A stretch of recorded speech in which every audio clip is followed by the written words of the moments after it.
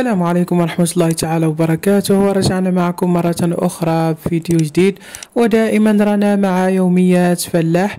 اليوم راح نقوم بزراعة القمح ونوعية القمح اللي زرعته وهو القمح التواتي. راح نزرعه ب بالرماد أو السماد اللي راح نستعمله له وهو الرماد. أول شيء نبدأ في توزيع آه، الرماد في هادو السرايح.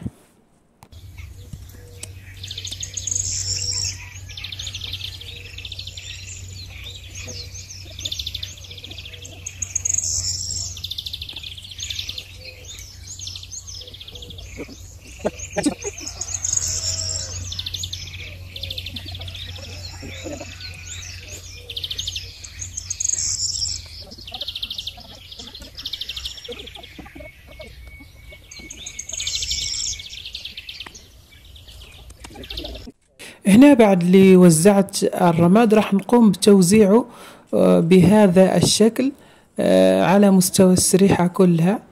كيف راكم تشاهدوا الآن؟ نواصل بهذه الطريقة وبعدين آه، نجيب البذور.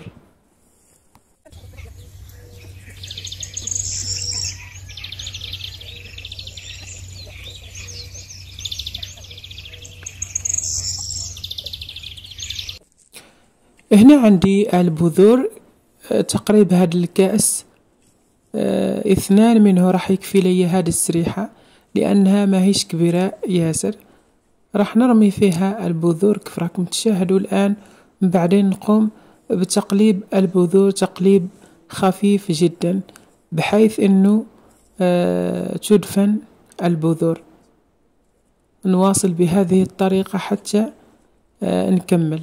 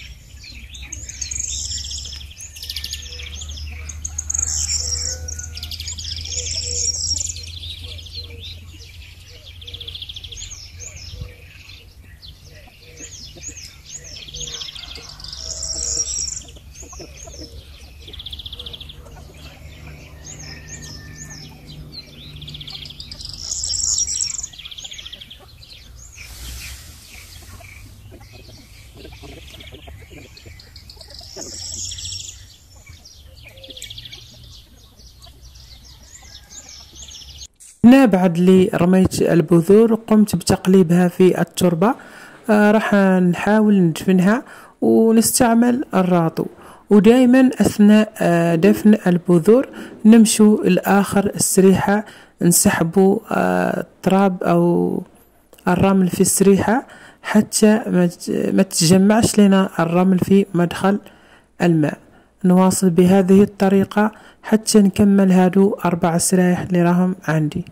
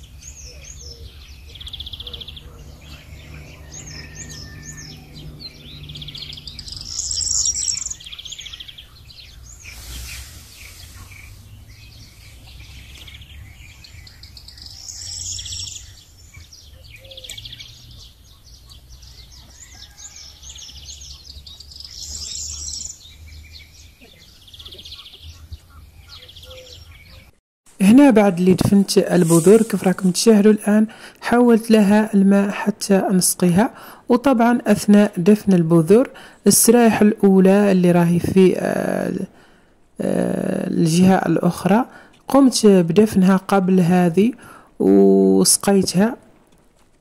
وهنا الآن آه، جيت نسقي هذا المكان وطبعا راح ندخل ليه ونبدأ بتسوية دخول الماء. لازم يدخل الماء بهذا الشكل يدخل بشكل هادئ جدا حتى آه، نعرف أن السريحة آه، مستوية أو على استواء واحد. وبهذا الشكل راح تنبت لنا البذور آه، نبات موحد.